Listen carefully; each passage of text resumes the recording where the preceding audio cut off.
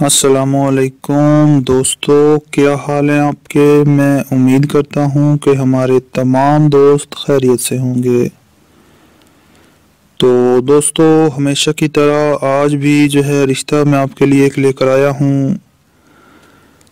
جو کہ خاتون جو ہیں، جن کی عمر پینتیس سال ہے ان کا رشتہ ہے، لیکن اس سے پہلے ہماری ایک چھوٹی سی گزارش ہے۔ کہ ہمارے چینل کو سبسکرائب کریں اور بیل کے آئیکن کو بھی دبا دیا کریں تاکہ ہم آپ کے لیے نئی سے نئی معلومات جو ہے رشتوں کے باؤٹ لے کر پیش ہوتے رہیں۔ تو دوستو، جو آج جو رشتہ ہے، جو یہ خاتون ہے ان کا نام ہے شمع بی بی تو شمع جو ہیں، ان کی جو عمر ہے، وہ ہے پینتیس سال۔ مسلمان ہیں، فرقہ جو ہے ان کا وہ سنی ہے۔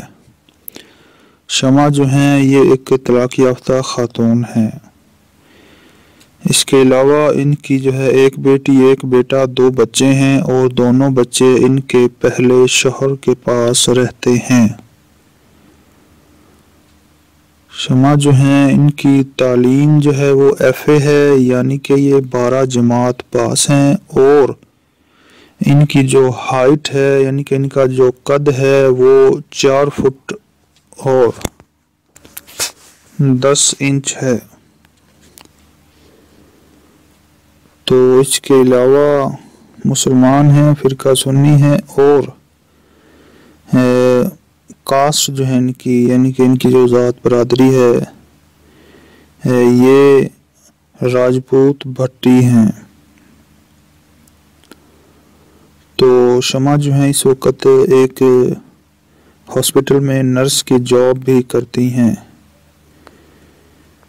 ان کی جو سیلری ہے، ان کی آمدن ہے منتھلی تقریباً مہینے کا، یہ پینتیس سے چالیس ہزار کماتی ہیں۔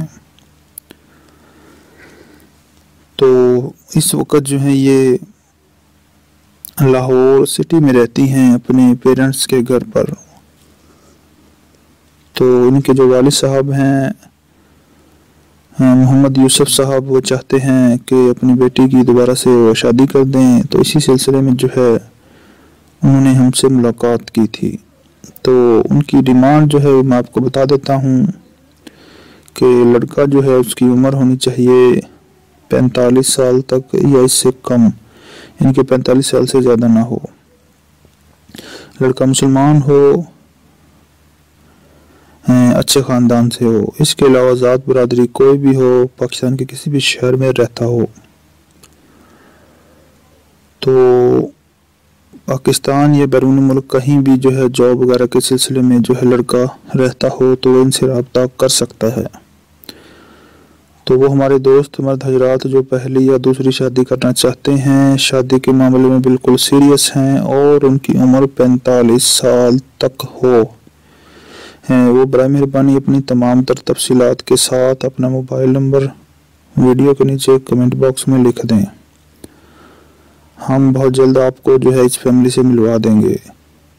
اگر آپ کے نصیب میں ہوا تو یہ رشتہ ضرور آپ لوگوں کے لیے خوشیاں لے کر آئے گا۔ تو دوستو، ہم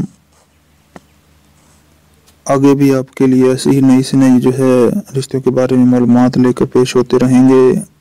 ہمیں بھی دعاؤں میں لازمی یاد رکھیے گا۔ تو اسی کے ساتھ ہمیں اجازت دیں۔